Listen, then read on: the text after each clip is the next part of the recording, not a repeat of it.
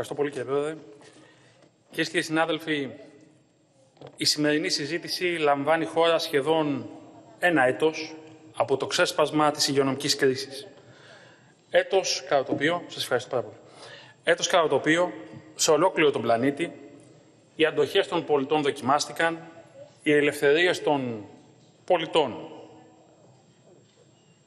ε, δοκιμάστηκαν, οι κοινωνίες αισθάνθηκαν ασφάλεια, οι ελευθερίες των ανθρώπων περιορίστηκαν, οι οικονομίες κλειδονίστηκαν, τα εθνικά συστήματα υγείας πιέστηκαν και δυστυχώς πολλές ανθρώπινες ζωές χάθηκαν.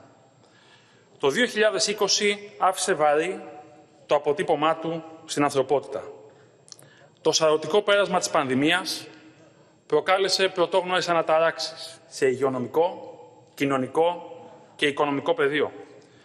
Αναταράξεις για τις οποίες καμία χώρα σε όλο τον κόσμο δεν ήταν προετοιμασμένη. Σύμφωνα με την τελευταία έκθεση της Παγκόσμιας Τράπεζας, η πανδημία αναμένεται να οδηγήσει σε μείωση του βιωτικού επίπεδου σε όρους κατακεφαλήν ΑΕΠ στις περισσότερες χώρες του πλανήτη, έχοντας προκαλέσει το ισχυρότερο πλήγμα από οποιαδήποτε άλλη κρίση του 20ου αιώνα. Εκτιμάται ότι θα πληγεί το 94% των χωρών, αναλογία συγκριτικά μεγαλύτερη από τις χώρες που επλήγησαν κατά το κράχ του 1929, ακόμα και από τους δύο παγκοσμίους πολέμους. Κυρίε και συνάδελφοι, μέσα σε αυτή την πρωτόγνωρη κατάσταση, η Πρόεδρος και οι βουλευτές του κινήματος Αλλαγές κατέθεσαν επίκαιρη υπερώτηση, στην οποία εκφράζουν, το είπαν και σήμερα, τις διαφωνίες τους για τον τρόπο με τον οποίο η κυβέρνηση διαχειρίζεται, σχεδιάζει και υλοποιεί την αντιμετώπιση της οικονομικής κρίσης και τις κοινωνικές και οικονομικές συνέπειες αυτής. Θα απαντήσω, όπως συνηθίζω, αναλυτικά, σε όλες τις, κατά τη δική μου εκτίμηση, ατεκμηρίωτες και άστοχες αναφορές σε περώτησης. Γιατί, κύριε συνάδελφε, στο ποδόσφαιρο είναι σημαντικό η μπάλα να είναι στα πόδια σου. Συγκεκριμένα, πρώτον, η επερώτηση υποστηρίζει ότι η κυβέρνηση επέδειξε αδυναμία να παρουσιάσει ένα άμεσο πρόγραμμα ανάσχεσης ύφεσης και των κοινωνικών προβλημάτων που προκάλεσε η πανδημία. Η πραγματικότητα είναι διαφορετική. Η κυβέρνηση αντιμετώπισε το εξωγενές συμμετρικό σοκ της πανδημίας και τις επιπτώσεις του στον βέλτιστο δυνατό βαθμό με ταχύτητα και αποτελεσματικότητα. Αυτό αναγνωρίζεται από όλους. Εταίρους, θεσμούς, αγορές, οίκους αξιολόγησης, αλλά πρωτίστως και εκεί λογοδοτούμε από την ελληνική κοινωνία. Ανταποκριθήκαμε με γρήγορα αντανακλαστικά στην πρόκληση της πανδημίας, αναπροσαρμόζοντας προτεραιότητες στη χάραξη της πολιτικής. Άκουσα τον τελευταίο μιλητή του κινήματος αλλαγής να μας εγκαλεί για μια σειρά από πράξεις ή παραλήψεις κατά την εκτίμησή του. Εγώ θα εγκαλέσω το κίνημα αλλαγής για την ανευθυνότητά του, για τις μαξιμαλιστικές προτάσεις και τις ανεύθυνες πλειοδοσίες. Θέλω να σας πω ότι δεν άκουσα από κανέναν ομιλητή, ούτε από την Πρόεδρο, την κοστολόγηση. Αφήστε δε που από όλους τους ομιλητές άκουσα και νέες προτάσεις. Για παράδειγμα, από τον τελευταίο ομιλητή άκουσα η επιστρεπτέα του 2021 είναι όσο και το 2020. Από την Πρόεδρο δεν το άκουσα. Νέα μέτρα, συνεπώς. Άρα θα ήθελα να έχω ένα ποσό. Πόσο η πρόεδρος δεν το είπε στα μέτρα. Α, άρα συμπληρωματικά μέτρα. Ωραία. Συνεπώς, αυτό που δεν άκουσα είναι εύκολο ένα ποσό. Πόσο κοστολογούνται τα μέτρα. Το έχετε πει αυτό; Πε, όχι, πόσο είναι όλα τα μέτρα. Πόσα είναι όλα τα μέτρα. Ωραία. Συνεπώς, συνεπώς, εγώ θα απαντήσω. Εγώ θα απαντήσω, έχουμε δώσει και τα στοιχεία. Ε, ε Άρα επιβεβαιώνεται, επιβεβαιώνεται, επιβεβαιώνεται συνεπώς ότι η κοστολόγηση των συνολικών μέτρων δεν υπάρχει. Αυτό συνεπώς είπα. Σας εγκαλώ για την ανευθυνότητα. Η αμεσότητα της δικής μας αντίδρασης αποδεικνύεται από το γεγονός ότι ανακοινώσαμε την πρώτη δέσμη μέτρων ήδη από τις 9 Μαρτίου του 2020. Στη συνέχεια διευρύναμε, επεκτείναμε και εμπλουτίσαμε τις παρεμβάσεις μας καλύπτοντας σε κάθε φάση της υγειονομικής κρίσης, έγκαιρα και αποφασιστικά, τις ανάγκες που προέκυπταν από τις εξελίξεις στο υγειονομικό πεδίο. Γιατί κάναμε μια επιλογή, μια ορθή επιλογή. Προέχει η υγεία και έπεται η οικονομία. Με αυτόν τον τρόπο καταφέραμε να απλώσουμε δίκτυ προστασίας σε νοικοκυριά και επιχειρήσεις. Χαρακτηριστικό της εγρήγορσης που επέδειξαν από την πρώτη στιγμή κυβέρνηση και κρατικός μηχανισμός είναι ότι στο διάστημα Φεβρουαρίου-Νοεμβρίου 2020, εν μέσω ακραίων συνθήκων, εκδόθηκαν 978 κανονιστικές πράξεις από μηδενική βάση, ποτέ δεν είχε γίνει κάτι αντίστοιχο στο ελληνικό κράτος, για την αντιμετώπιση των επιδημιολογικών και οικονομικών συνεπειών της πανδημίας. Με προτεραιότητες την ενδυνάμωση του δημόσιου συστήματος υγείας, την στήριξη της απασχόλησης, την ενίσχυση της ρευστότητας των επιχειρήσεων, την τόνωση της κοινωνικής συνοχής. Στηρίξαμε και συνεχίζουμε να το κάνουμε την πραγματική οικονομία με μέτρα συνολικού ύψους 24 δισεκατομμύριων ευρώ, πλήρως καταγεγραμμένα στον προϋπολογισμό για το 2020 και 7,5 δισεκατομμύρια ευρώ για το 2021. Και σε αυτούς που υποστηρίζουν ότι τα μέτρα αυτά, τα δημοσιονομικά, το μέρος αυτών που είναι δημοσιονομικά, είναι χαμηλότερα από το ευρωπαϊκό όρο, θα σας καταθέσω τον πίνακα, τον τελευταίο της Ευρωπαϊκής Επιτροπής, που διανεμήθηκε αυτή την εβδομάδα στο Eurogroup και στο ECOFIN και το οποίο επιβεβαιώνει ότι τα μέτρα που ελήφθησαν στην Ελλάδα ήταν υψηλότερα από τον μέσο ευρωπαϊκό όρο και πολύ υψηλότερα από χώρες, άκουσα την πρόεδρο του κινήματος αλλαγής, όπως είναι το Βέλγιο, η Πορτογαλία και η Ισπανία. Αυτές δεν είναι δικές μας εκτιμήσεις, είναι της Ευρωπαϊκής Επιτροπής. Και θα το επαναλάβω. Το αποδεικνύουμε άλλωστε. Θα είμαστε εδώ ως Υπουργείο Οικονομικών για όσο χρειαστεί και για ό,τι χρειαστεί. Το πακέτο των παρεμβάσεων αυτό κατέστη εφικτό να υλοποιηθεί επειδή αξιοποιήσαμε με προνοητικότητα, σύνεση και υπευθυνότητα κάθε διαθέσιμο πόρο της οικονομίας, ευρωπαϊκό και εγχώριο, μέχρι τα ταμιακά διαθέσιμα της χώρας, στα οποία διασφαλίσαμε την αναπλήρωση των νεκρών με εισρωές.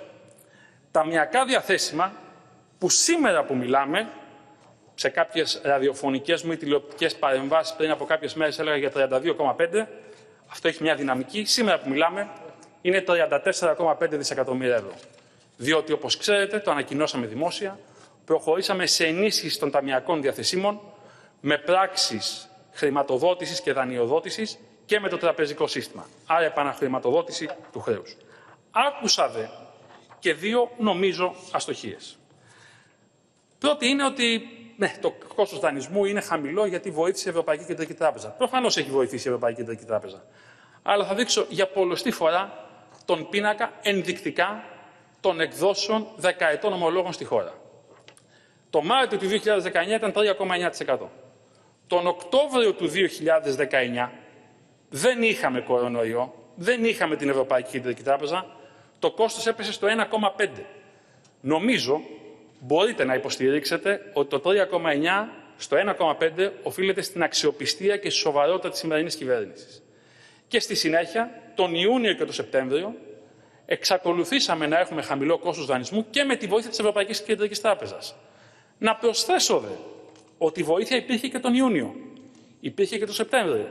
Γιατί έπεσε το κόστος δανεισμού από το 1,6 στο 1,2.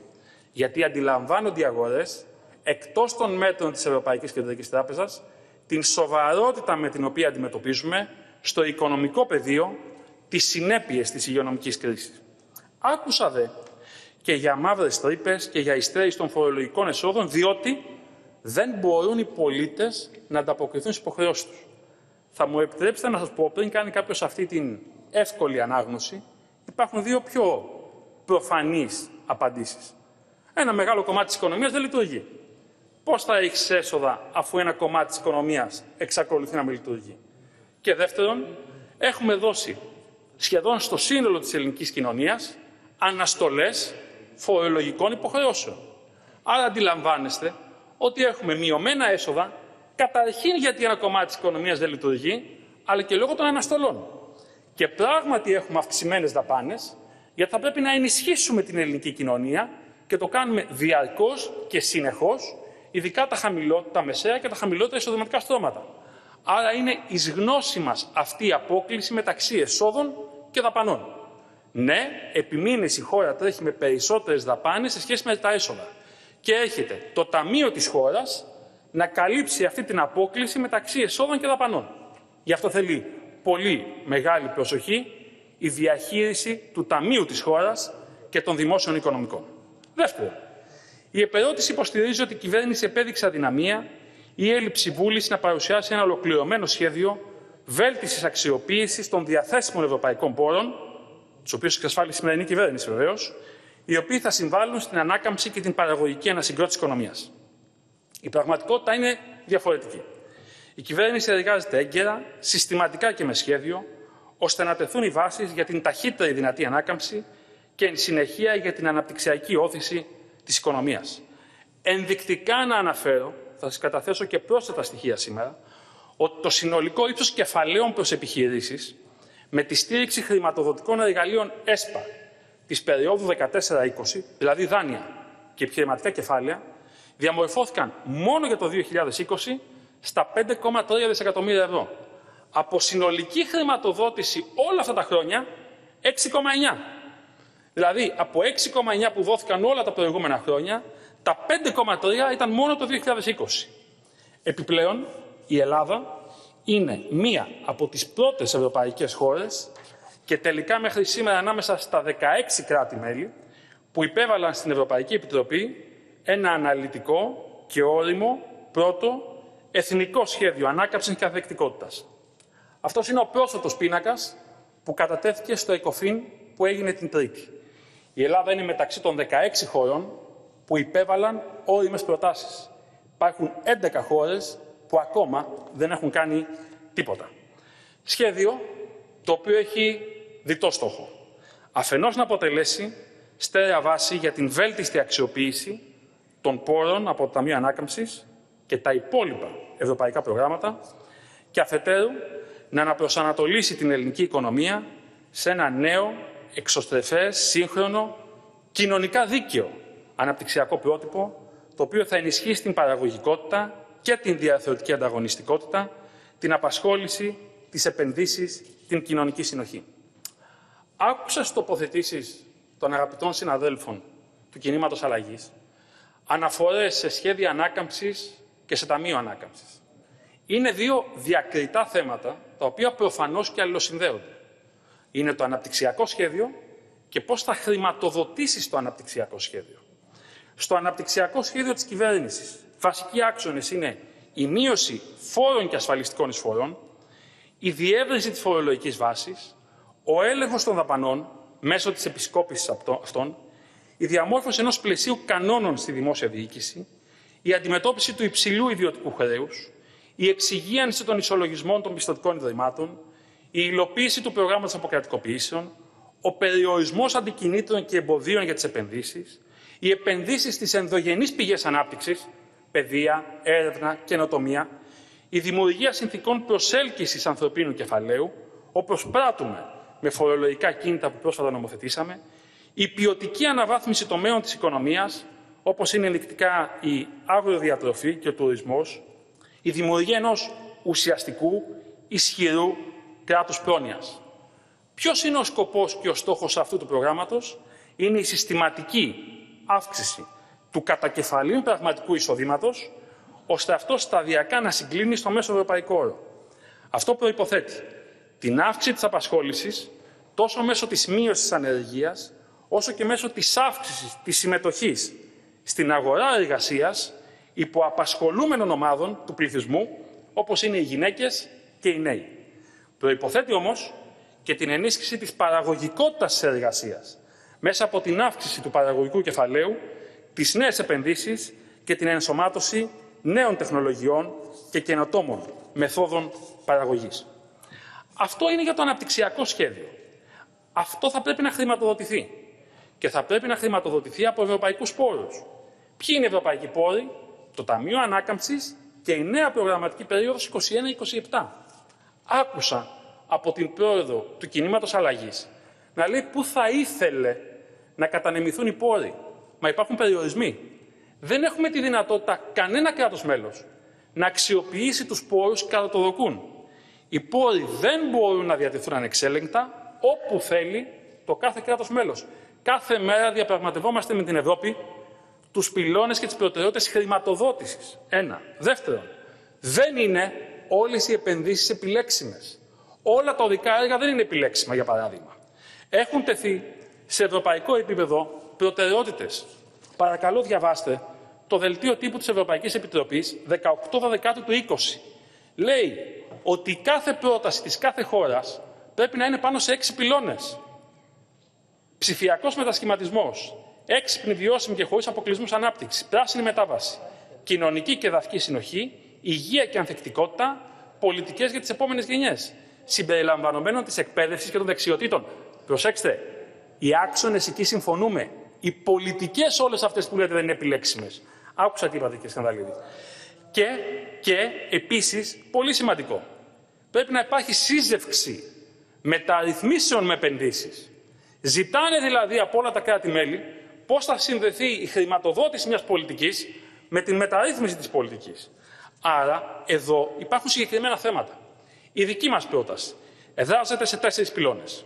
Στην πράσινη μετάβαση, με μεταρρυθμίσεις και επενδύσεις, όπως είναι ένα εκτεταμένο πρόγραμμα ενεργειακής αναβάθμισης και ανακαίνησης κτηρίων του δημόσιου τομέα, επιχειρήσεων και ιδιωτών, η απολιγνητοποίηση, η ενεργειακή διασύνδεση των νησιών που θα διευρύνει τη χρήση ανανεώσιμων πηγών ενέργειας και θα μειώσει το ενεργειακό κόστος νοικοκυριών και επιχειρήσεων. Ενδεικτικά.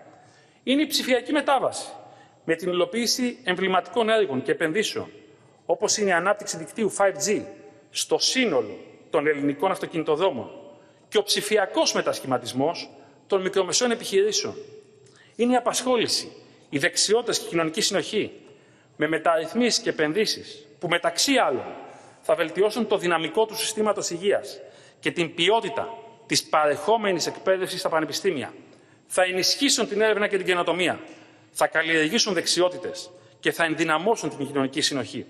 Και τέλος, είναι οι ιδιωτικές επενδύσεις με έργα υποδομών υψηλού επίπεδου όπως επενδύσεις σε άξονες του ευρωπαϊκού οδικού δικτύου και με την εισαγωγή και επέκταση ψηφιακών εργαλείων καταπολέμηση φοροδιαφυγής και του λαθεμπορίου, όπως είναι η διασύνδεση των ταμιακών μηχανών ανά την επικράτεια με την ΑΔΕ. Προβλέπεται άμεση αξιοποίηση μέσα στο 2021 κονδυλίων ύψους 5,5 δισεκατομμυρίων ευρώ από το Ταμείο Ανάκαμψης με σημαντική προχρηματοδότηση. Πόση προχρηματοδότηση είχε αποφαστεί αρχικά στο 10%, μεταγενέστερα, όπως ξέρετε πολύ καλά, πήγε στο 13%. Ποια είναι η πιο ωφελημένη χώρα της Ευρώπης από την προχρηματοδότηση, στοιχεία της Ευρωπαϊκής Επιτροπής, η Ελλάδα. Η Ελλάδα είναι η μόνη χώρα, το μόνο κράτος μέλος, που το ποσοστό της προχρηματοδότησης το 2021 θα υπερβαίνει το 1% του πλούτου της χώρας. Σε καμία άλλη χώρα της Ευρώπης δεν συμβαίνει κάτι αντίστοιχο. Αυτή είναι η επιτυχία της σημερινής κυβέρνησης.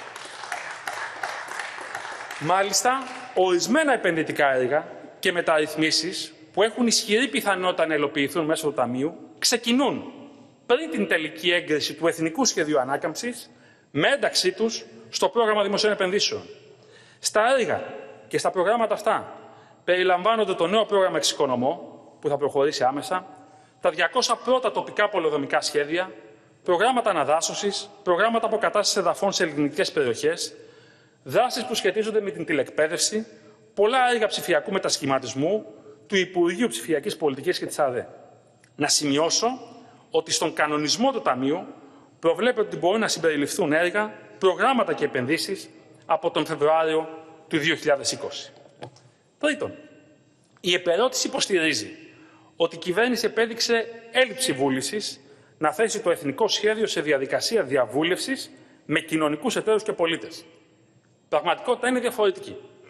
Το Εθνικό Σχέδιο Ανάκαμψης και Ανθεκτικότητα τέθηκε σε διαβούλευση, η πρώτη φάση της οποίας ολοκληρώθηκε στις 20 Δεκεμβρίου. Η Οικονομική και Κοινωνική Επιτροπή, ως αρμόδιο θεσμικό όργανο, απέστειλε ήδη τη θετική γνώμη της και αναλυτικές προτάσεις δράσης σε κάθε έναν από τους τέσσερις πυλώνες των στρατηγικών κατευθύνσεων του σχεδίου και επισημαίνει εντός εισαγωγικών ότι θα συνεχίσει να προωθεί τις διαδικασίες του κοινωνικού διαλόγου μεταξύ όλων των κοινωνικών εταίρων και της οργανωμένης κοινωνίας των πολιτών κατά τη διάρκεια τόσο της εκπόνησης του τελικού σχεδίου ανάκαμψης και ανθεκτικότητας, όσο και κατά την εφαρμογή του. Ταυτόχρονα, μέσω του opengov.gr ή κατόπιν πρόσκλησης, κατατέθηκαν σχόλια, παρατηρήσεις και προτάσεις από φυσικά και νομικά πρόσωπα και φορείς, πέραν όσων συμμετείχαν στην ΟΚΕ, μεταξύ των οποίων η ΓΕΣΕΕ, η ΓΕΣΕΒΕ, η Κεντρική Ένωση Δήμων Ελλάδος, ο Ελληνικός Σύνδεσμος Πληροφορικής Υγείας, ΤΕΑ Χρηματιστηρίου Αθηνών, ΕΛΠΕ, Σύνδεσμος Επιχειρήσεων Επιβατικού Ναυτιλίας, Ελληνική Ένωση Ταμείων Επαγγελματικής Ασφάλισης, Greenpeace, The Green Tank και άλλοι. Η Ειδική Υπηρεσία Συντονισμού του Ταμείου Ανάκαμψης θα τη συντάξει σχετική έκθεση για την διαβούλευση που θα αξιοποιηθεί τόσο κατά τη σύνταξη του τελικού σχεδίου, όσο και στη συνέχιση του σχετικού δημοσίου διαλόγου. Επιπλέον, το επόμενο χρονικό διάστημα αναμένεται η κατάθεσή του προς συζήτηση στο Ελληνικό Κοινοβούλιο. Τέταρτον, η επερώτηση υποστηρίζει ότι η κυβέρνηση επέδειξε έλλειψη βούλησης να προωθήσει πολιτικές βιώσιμης ανάπτυξης και κοινωνικής συνοχής με έμφαση στον άνθρωπο, την υγεία και το περιβάλλον. Η πραγματικότητα είναι διαφορετική. Οι βασικές προτεραιότητες του εθνικού σχεδίου κινούνται πάνω στην κατεύθυνση υλοποίησης τέτοιων πολιτικών, ενώ τόσο πριν όσο και κατά τη διάρκεια της υγειονομικής κρίσης σχεδιάσαμε και υλοποιούμε πολιτικές που ενέχουν το στοιχείο της βιώσιμης ανάπτυξης και της κοινωνικής δικαιοσύνης. Αλλά να μιλήσουμε και τι κάναμε το 20 και το 21, με επισπεύδοντα τον αγαπητό συνάδελφο Γιάννη Βρούτσι. Ενισχύσαμε και ενισχύουμε περισσότερο τους χαμηλόμισθους με την αποζημίωση ειδικού σκοπού, επεκτείνουμε επιδόματα ανεργίας, στηρίζουμε τους μακροχρόνια ανέργους στο πλαίσιο του προγράμματος για τη δημιουργία νέων θέσεων εργασίας, ενισχύουμε δράσεις του ΠΕΚΑ με αυξημένες κατά 600 εκατομμύρια ευρώ το ύψος των κοινωνικών επιδομάτων για το 2021. Ενισχύουμε τα προγράμματα κοινωνικού τουρισμού.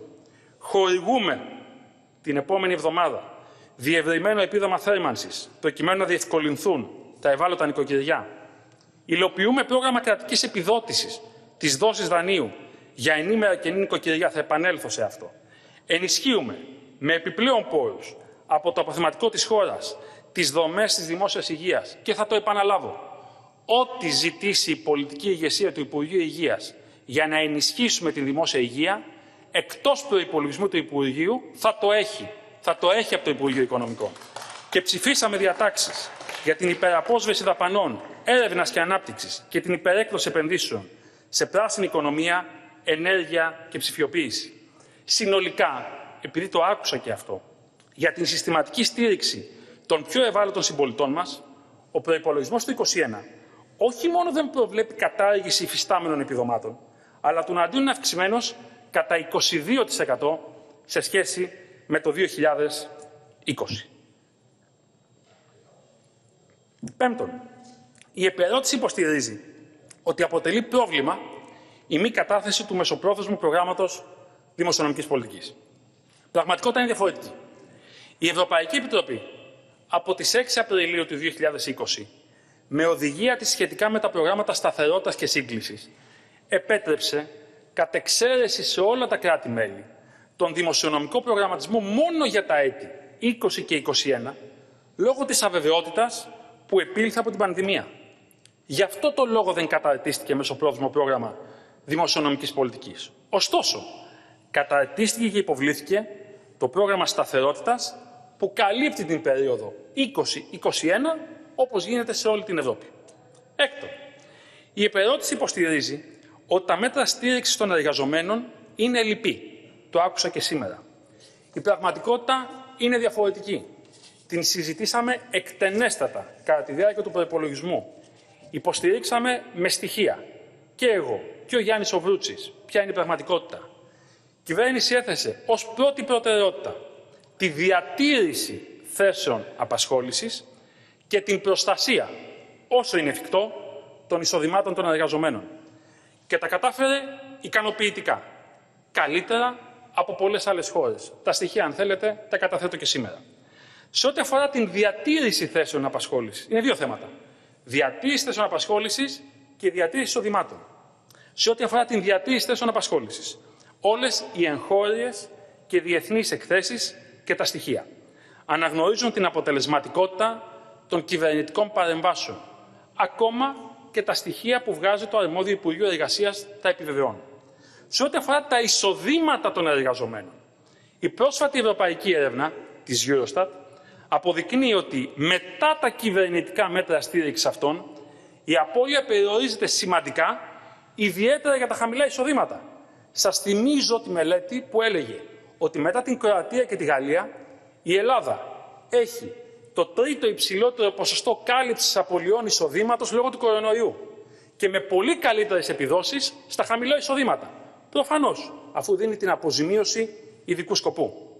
Αυτό οφείλεται, συνεπώς, στην υλοποίηση μέτρων διατήρησης και τόνωσης απασχόλησης, όπως είναι η αποζημίωση ειδικού σκοπού, στο πρόγραμμα συνεργασία και στην κάλυψη των ασφαλιστικών εισφορών για τη δημιουργία 100.000 νέων θέσεων εργασίας.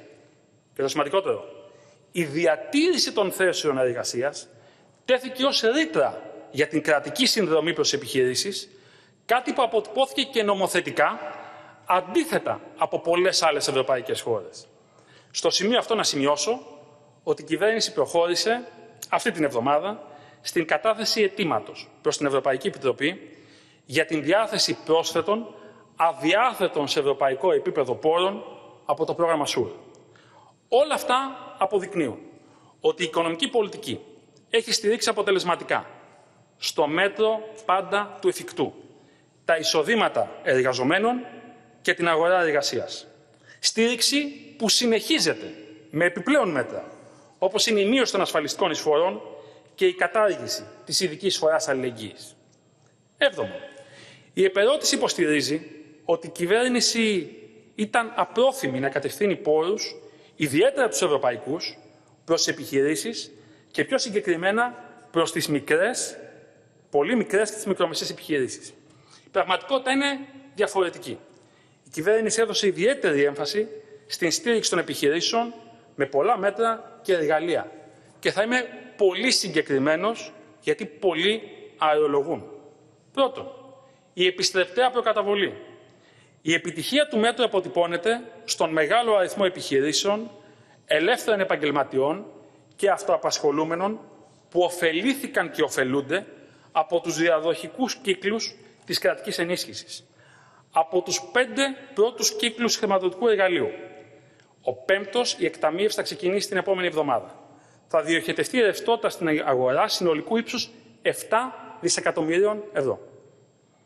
Μέχρι σήμερα έχει διατεθεί σε 482.271 μοναδιαίους δικαιούχους. Ξέρετε πολύ καλά, από την κοινωνία, από τους πολίτες, ότι πολλοί έχουν χρηματοδοτηθεί από διαδοχικούς κύκλους. Μοναδιαία αφημί 482.271. Από αυτούς, το 91% των ωφελούμενων, 439.200, έλαβαν συνολικό ποσό αυτό τον χρόνο, κάθε μία έως 20.000 ευρώ. Αυτές είναι οι πολύ μικρές και μικρές επιχειρήσεις. Και θα ακολουθήσει και έκτος κύκλος τον Μάρτιο. Και επειδή κάτι άκουσα από δύο μιλητές του κινήματος αλλαγής για τους αγρότες, συγκράτησα τη λέξη φτωχός συγγενής και εγκατάλειψη του πρωτογενούς τομέα. Και επειδή είμαι στο κεφάλαιο επιστρεπτέας προκαταβολής, πολύ συγκεκριμένα, από τις τέσσερις πρώτες επιστρεπτές, καλλιέργεια βαμβακιού, 8.728, εκτροφή εγωπροβάτων, 8.599, καλλιέργεια ελιών για την παραγωγή ελαιολάδου, 6.737, καλλιέργεια ρυζιού 5.330, καλλιέργεια σκληρού σταριού 2.294, εκτροφή εγωπροβάτων 2.202, παραγωγή ακατέργας του πρόβιου γάλακτος 2.029. καλλιέργεια ελιών 1.995, παραγωγή ακατέργας του γάλακτος από εγωπρόβατα 1.867, εκτροφή προβατοειδών που διατίθενται ζωντανά 1.647 και συνεχίζει το κατάλογος. Αθροισμά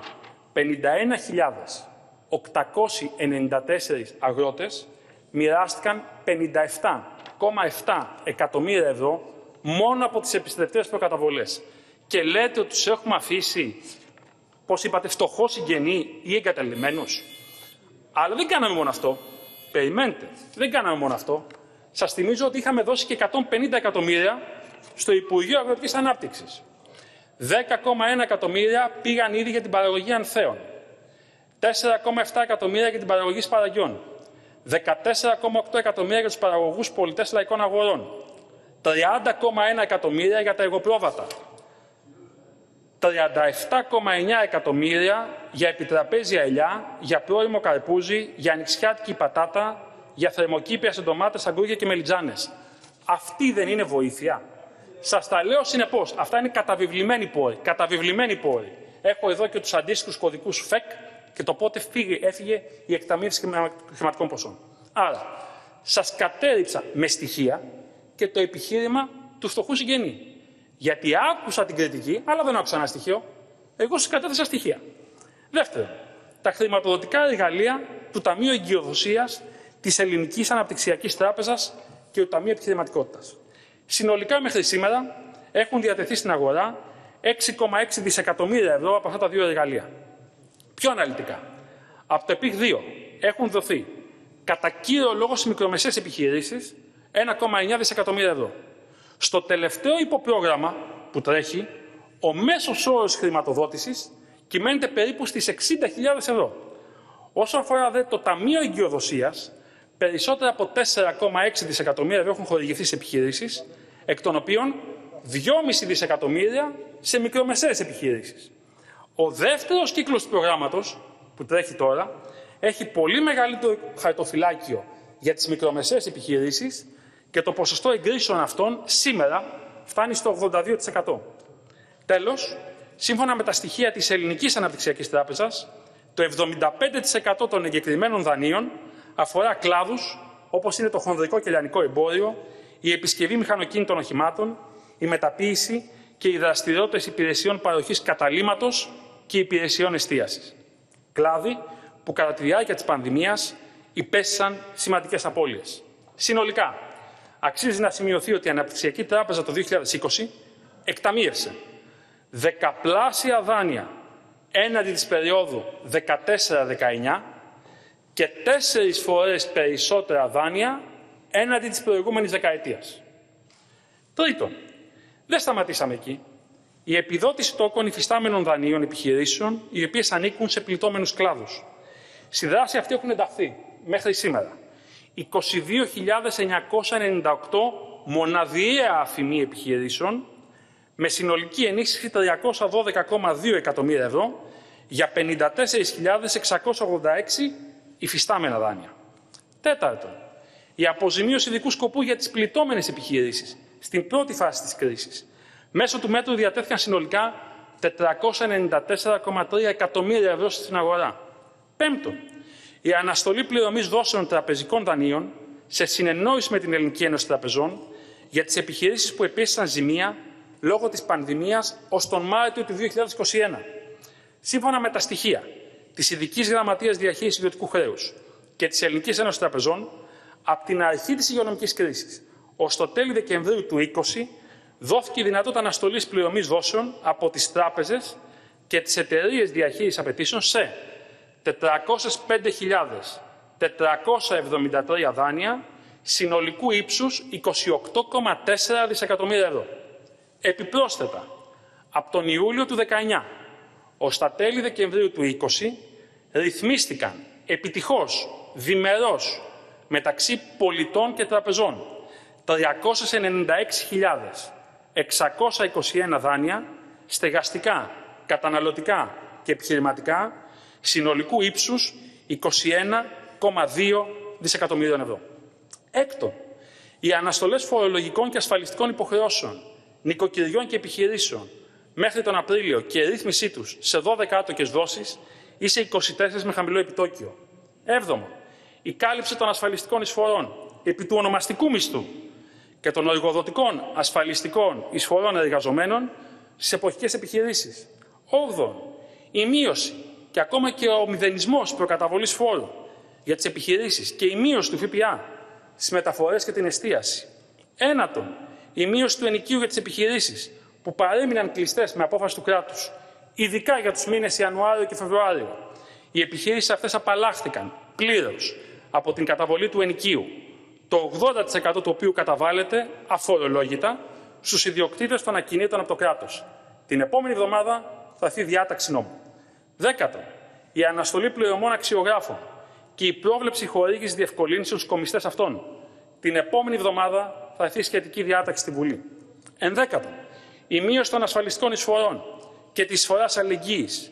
Μειώσαμε για πρώτη φορά σχεδόν μετά από 10 χρόνια κατά τέσσερις ποσοστιαίες μονάδες. Τελευταία φορά έχει γίνει το 2013-2014. Κατά τέσσερις ποσοστιαίες μονάδες. Τις ασφαλιστικές εισφορές των μισθωτών του ιδιωτικού τομέα. Το μέτρο θα ωφελήσει πάνω από 2 εκατομμύρια εργαζόμενους και εκατοντάδες χιλιάδες επιχειρήσεις. Παράλληλα, καταργήσαμε την εισφορά αλληλεγγύης για εισοδήματα από τον ιδιωτικό τομέα. Ευχαριστώ κύριε Πρόεδρε. Θέλω τρία-τέσσερα λεπτά. Συγγνώμη. Απλά προσπαθώ να καλύψω όλα τα ερωτήματα που ετέθησαν και μου είπατε κι εσείς και δύο. Δωδέκατον. Τέλος, το Υπουργείο Οικονομικών, όπως έχει καταστεί σαφές, αξιοποιεί και επιστρατεύει όλα τα διαθέσιμα εργαλεία και καθεστώτα που του παρέχει το ευρωπαϊκό πλαίσιο και ταιριάζουν με την εγχώρια οικονομική και επιχειρηματική δραστηριότητα. Σε αυτό το πλαίσιο, όπως είχα προαναγγείλει εβδομάδων, στο πλαίσιο του κοινοβουλευτικού ελέγχου που μου κάνατε, κύριε συνάδελφε, προχωράμε στην αξιοποίηση του άρθρου 312 του προσωρινού πλαισίου της Ευρωπαϊκής Ένωσης για τις κρατικές ενισχύσεις. Συγκεκριμένα, με διάταξη νόμου που θα κατατεθεί την επόμενη εβδομάδα στη Βουλή, διαμορφώνεται ένα προσωρινό μέτρο κρατικής ενίσχυσης επιχειρήσεων με τη μορφή επιδότησης παγίων δαπανών. Σε επιχειρήσεις που επλήγησαν οικονομικά, θα δύναται να χορηγείται ενίσχυση με τη μορφή της επιδότησης παγίων δαπανών στο πλαίσιο της στήριξης για τις μη καλυπτόμενες πάγιες δαπάνες επιχειρήσεων. Θα αφορά επιχειρήσεις κλάδων που επλήγησαν, που εμφάνισαν μείωση τζίρου κατά την περίοδο της πανδημίας, αλλά και είχαν και ζημιά κατά την προηγούμενη περίοδο, καθώς δεν κατάφεραν να καλυφθούν οι πάγιες δαπάνες που έχουν. Προς αυτή την κατεύθυνση προχωράμε εντατικά την τεχνική προετοιμασία του νέου μέτρου από τα στελέχη του Υπουργείου Οικονομικών, καθώς και τη συζητήση με την Ευρωπαϊκή Επιτροπή. Παράλληλα, συμμετέχουμε με προτάσεις στις διαπραγματεύσεις για την επικαιροποίηση, τη βελτίωση και την επέκταση του προσωρινού πλαισίου των κρατικών ενισχύσεων σε ευρωπαϊκό επίπεδο που είναι σε εξέλιξη διαπραγματεύσεις για υψηλότερα ανώτατα όρια χρηματοδότησης και νέα, καλύτερα δεδομένα για τις επιχειρήσεις.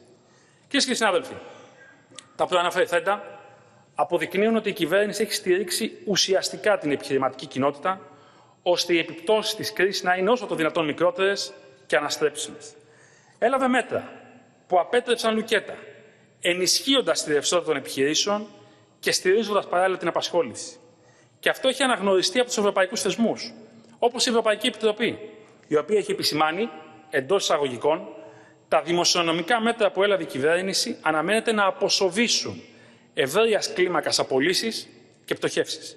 Πράγματι, σύμφωνα με τα στοιχεία του ΓΕΜΗ, το 2020, παρά την υγειονομική κρίση, ο αριθμός των επιχειρήσεων που έκλεισαν είναι αισθητά μικρότερος από το 2019, ενώ την ίδια περίοδο ο αριθμός των νέων επιχειρήσεων ήταν τριπλάσιος. Η κυβέρνηση, ωστόσο, δεν θα σταματήσει εδώ. Συνεχίσει, συνεχίζει και θα συνεχίσει να βρίσκεται δίπλα στις επιχειρήσεις, λειτουργώντας με μεθοδικότητα, αποτελεσματικότητα, διαφάνεια και αίσθημα δικαίου. Κυρίες και κύριοι συνάδελφοι, αυτή είναι η πραγματικότητα. Μακριά από θεαμβολογίες και κινδυνολογίες. Ζούμε μέσα στην οικονομία και την κοινωνία και όχι σε γυάλινους πύργους, όπως έχω πει. Κατανοούμε τους προβληματισμούς, ακούμε το σφιγμό, αντιλαμβανόμαστε τις δυσκολίες, σεβόμαστε τις αγωνίες της κοινωνίας. Έχουμε αίσθημα της ευθύνης, αντιδρούμε με αμεσότητα, διαχειριζόμαστε με ταχύτητα και ευελιξία τις συνέπειες της κρίσης. Ενεργούμε με ψύχρεμη, καθαρή και συγκροτημένη σκέψη. Επιδιώκουμε να ελαχιστοποιούμε τα λάθη και να περιορίζουμε τις παραλήψεις μέσα σε αυτές τις πρωτόγνωρες συνθήκες. Επιδεικνύουμε μαζί με την κοινωνία υπομονή, αναδεικνύουμε αντοχές. Ωστόσο, δεν τρέφουμε αυταπάτες. Οι επόμενοι μήνες θα είναι δύσκολοι. Η επιστροφή στην κανονικότητα θα είναι σταδιακή, όχι άμεση. Ωστόσο, μαζί με τις προκλήσεις αναδεικνύονται και ευκαιρίες. Ευκαιρίες τις οποίες ως χώρα οφείλουμε με δυναμισμό να αξιοποιήσουμε. Μαζί με τα συγκριτικά πλεονεκτήματά μας, ιστορικά, γεωγραφικά, γεωπολιτικά, περιβαλλοντικά. Μαζί με το καλά, εκπαιδευμένο και καταρτισμένο ανθρώπινο δυναμικό και μαζί με τα όπλα για την αντιμετώπιση της νόσου στο πεδίο των εμβολιασμών. Πάνω σε αυτά πρέπει να στηριχθούμε με αυτοπεποίθηση, ώστε η χώρα μας να καταφέρει να ξεπεράσει το σκόπελο της υγειονομικής κρίσης και να εισέλθει σε τροχιά υψηλής, διατηρήσιμης, έξυπνης και χωρίς αποκλεισμούς ανάπτυξης, θέτοντας τα θεμέλια για ένα μέλλον ευημερίας, αντάξιο των ευκαιριών και των δυνατοτήτων που δικαιούνται οι επόμενες γενιές. Σας ευχαριστώ πολύ.